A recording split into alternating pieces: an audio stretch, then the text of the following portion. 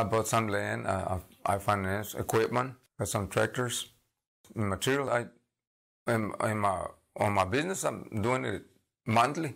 See, that's one of the things that helped me because when I, I get a, a good buy on rebar, I just call you or whoever and get get give me a check. I need so much money, and within four or five days I get it and I buy it. And that way, it helped me get my jobs because that way I can cut down the, the cost on the customers. Uh, this is one advantage I have over my competitors. so I make sure I borrow enough money to pay all that, and then get collected, and I pay it right back.